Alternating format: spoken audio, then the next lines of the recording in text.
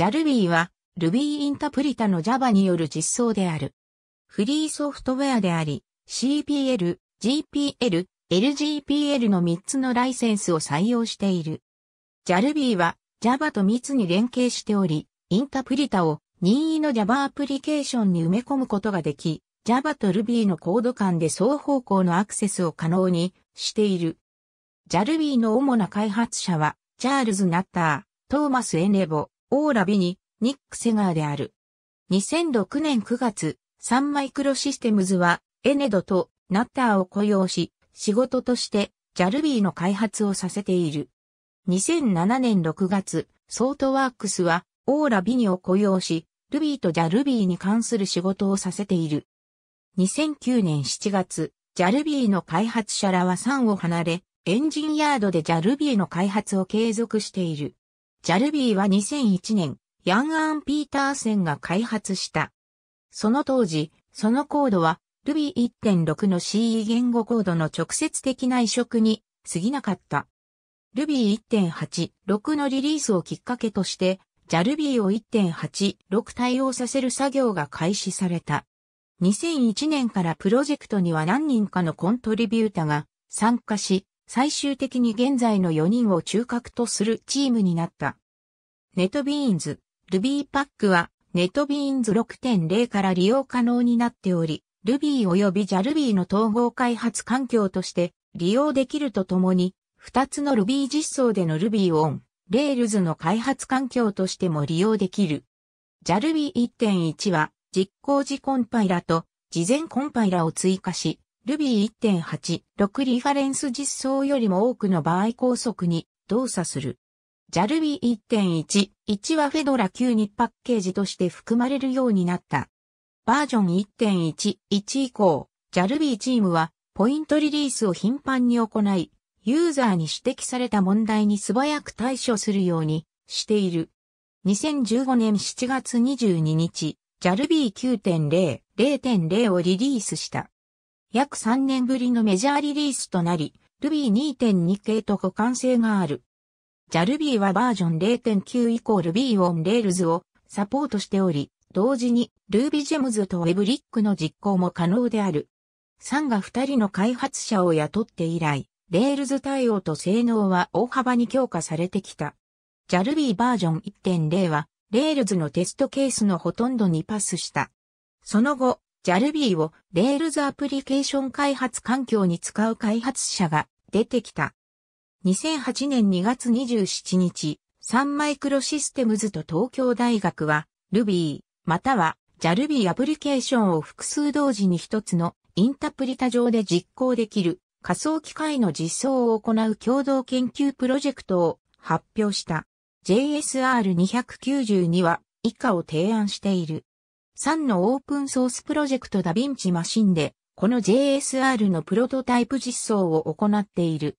最初のプロトタイプは、オパンジェドックのパッチとして開発され、2008年8月末に完成が発表された。JALB チームは非常に簡単な方法だが、コードベースに動的呼び出しを組み込んだ。動的呼び出しは次の1.15でリリースされ、動的呼び出しのない JVM 上では、それが機能しないようにしておくことになる。2006年初め頃から、JALB チームはそれまでの CE 言語コードの単なる移植から Java のバイトコードを活かした高性能の実装にする努力を開始した。そして JALB を使って Ruby on Rails に全く手を加えずにそのまま実行できるようにすることを目標とした。その過程で JALB のテストスイートも拡張され、JALB の正しさを保証する役目を果たした。結果として2006年末から2007年初めには、JALB の中核部分の再設計とリファクタリングに取り掛かることが可能になった。JALB は複数モードの Ruby 用仮想機械として設計されている。コードは直接インタプリタで解釈実行されるだけでなく、JIT コンパイラで Java、バイトコードに実行時にコンパイルされたり、をコンパイラで実行前に Java、バイトコードにコンパイルされたりする。2007年10月まではインタプリタモードしかなかったが、バージョン1.1からを JIT コンパイラがサポートされるようになった。これらのモードは混在可能であり、また生成したバイトコードから Java クラスファイルを生成することもできる。JARB は基本的には Ruby インタプリタだが Java で実装されている点が異なる。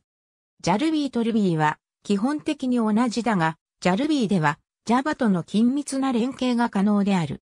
JARB の強力な機能の一つとして Java プラットフォームのクラスを呼び出すことができる。これをするには、まず include Java として JARB の Java サポートをロードする。以下の例は Java の JFrame に JLabel を付与したものを生成する。Include Java。フレームイコール Javax、Swing、JFrame、New。フレーム、Get Contain Pain。フレーム、セディフォルクロサパーション。フレーム、パック。フレーム、セットビジブル。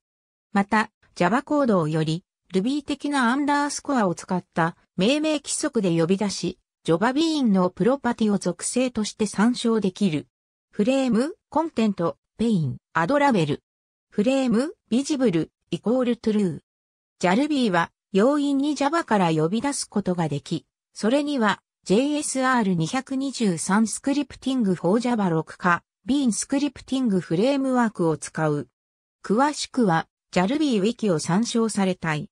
JARB は上述したようにインタプリタモード、オモード、JIT モードをサポートしている。このモードでは JARB は標準の Ruby リファレンス実装よりも遅い。例えば、Rails 処理をインタプリタモードで行うと、Ruby 1.8のリファレンス実装に比べて50%から70%遅い。Ruby 1.9、YARB ベンチマークを Java 6で使ってみると、JARB は Ruby の4倍の遅さである。JIT モードは JARB 1.1から利用可能である。ベンチマークの結果から見れば Ruby 1.8リファレンス実装よりも高速である。ただし Ruby 1.9よりは低速である。しかし JARB チームは1.1の性能が Ruby 1.9をも一部ベンチマークで凌駕しつつあると指摘している。